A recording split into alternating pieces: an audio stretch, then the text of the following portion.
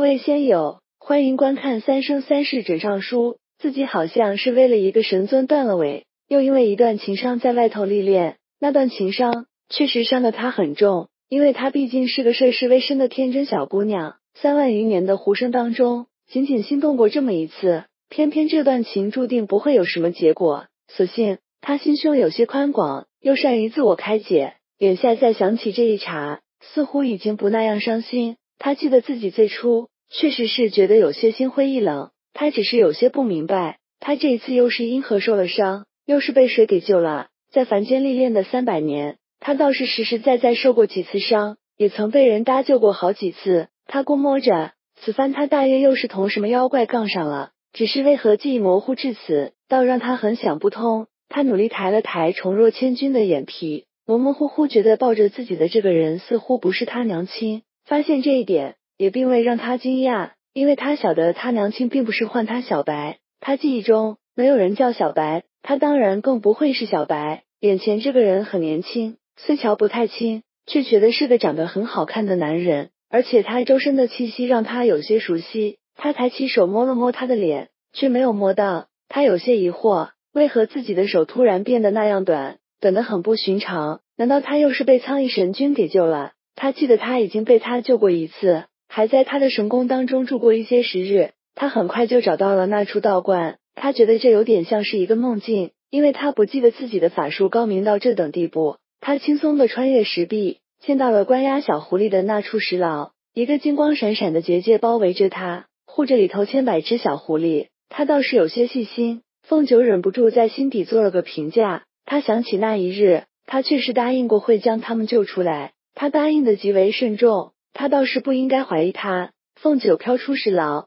见到了几个惊慌失措的人，一望可知那是几个凡人。领头的那个人，他发现他自己居然认识他。虽然他换了样貌，但是他一眼就认出了他。他以为今生今世再也不会遇见的那个猎户，就这样毫无预兆的站在他的面前。他的灵台瞬间沉浸如被九天梵雨清洗过的天空，虽这天空与外头大作的妖风很不一样。他却突然明白过来，方才一直在唤着他的声音是什么？上天这是要他报恩来了？那你打算如何还？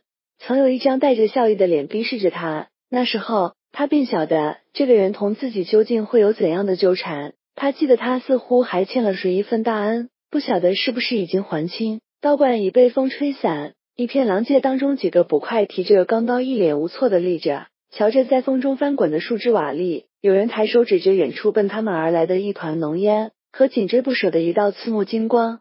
你既然是我的人了，以后我自然会护着你啊！凤九不晓得自己是和谁说的这句话，他只是觉得有些遗憾。他追了他那么久，不晓得他到底知不知道他是这样喜欢他。之言说过，欠别人的就一定要还，不是在这儿还，就是在那儿还。他还记得有人同他说过，稍后我会用元神阻他片刻。你一定要尽快离开，去找你姑姑。明明他最想找的人就是他啊，那个人究竟是谁？在他喉间滚动的名字，他却怎样也想不起来。想不起了也好，这样便无需心伤。凤九像是很自然的就晓得了该怎么做，毕竟她是青丘女君，太成宫的帝后。她的原始勉力支起一张小小的结界，将那几个捕快护在当中。太成宫帝后，原来她已经是他的帝后。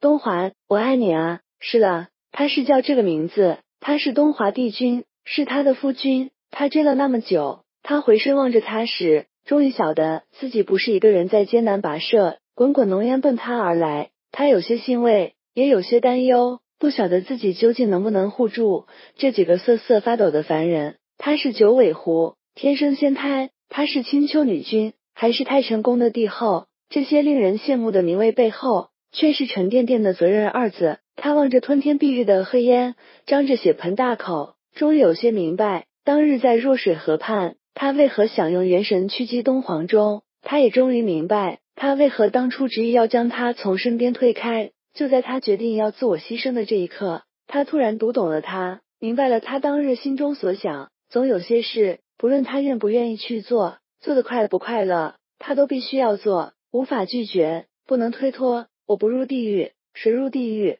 他的心中漫过一阵佛音：“十无有众生如来度者，若有众生如来度者，如来即有我，人众生寿者。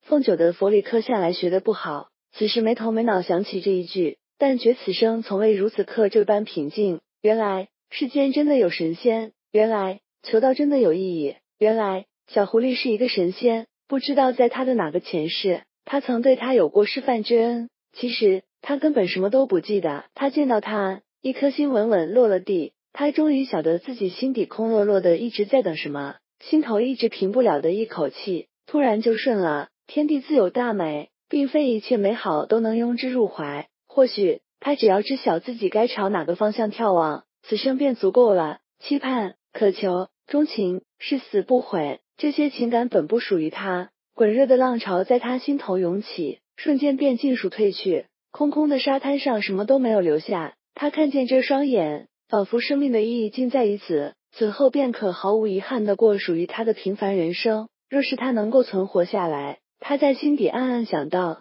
和春卷的婚事该早点办一办了。那是个好姑娘，他不该辜负她一厢情意。许多年之后，他终于开始持戒修行，才明了。自己当日在这只小狐狸的注目之下，便已经开悟，缘起缘灭，聚散合离，既不会预言，亦无法追悔。他来了，他走了，你遇见，你转身，生命的长河滔滔，奔涌不息，不会为任何人停留。他小小的结界，并不能阻挡那惊天骇地的一击。四海八荒流散的妖息准备了许久，为的当然不是伤害他们这几个凡人，刺目的让人昏盲的磅礴仙泽。带着毁天灭地的金光呼啸而来。若是时间可以倒流，可以停滞，可以放缓，叶捕头会听到瑶瑶一声惊呼，喊的是两个字：九儿。